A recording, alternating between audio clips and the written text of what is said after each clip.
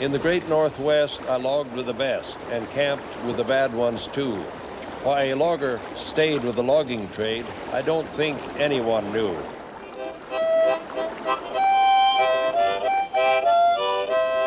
Wear your corks with pride, boy, and stag your pants up high. You'll never log at all, boy, no matter how you try.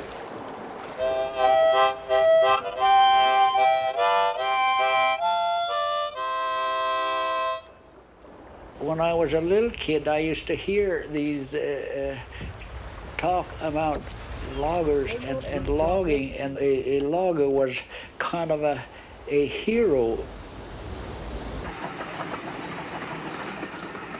I used to like this working in the woods because it, it was more adventurous. Uh, now, this was in the earlier days when worked in these logging camps, and, and some of them you could only reach by railroad, you know. And then I just I just liked those people that worked there, you know. They were my kind of people. They commiserate in their own language.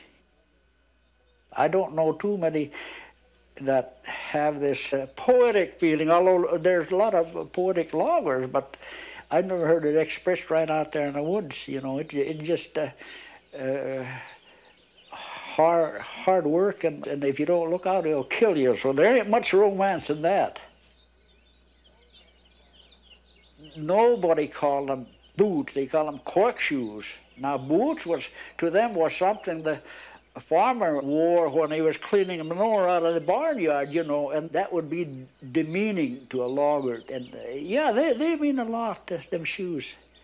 They're, uh, your, your, of course, your, your life depends on those shoes because you don't want that, that foot slipping.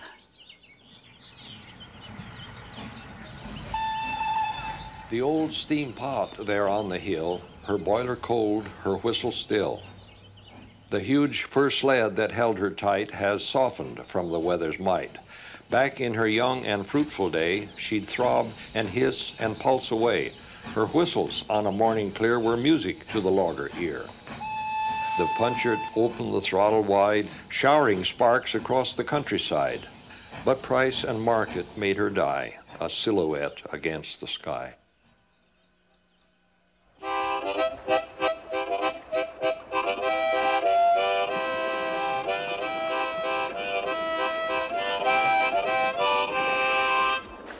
You see that beach up here and all along here?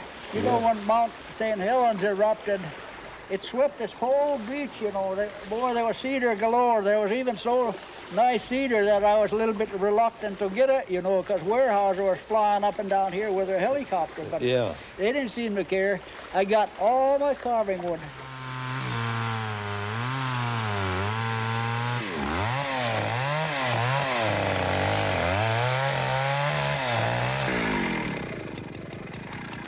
I don't know if I'm self-taught or not because I bought anatomy books. Because the more you know about the bone structure, the better you can carve, see.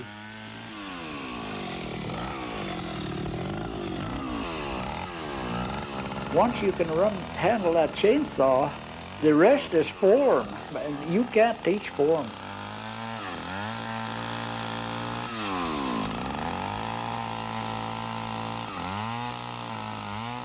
I had a strange feeling like I gave that wood life.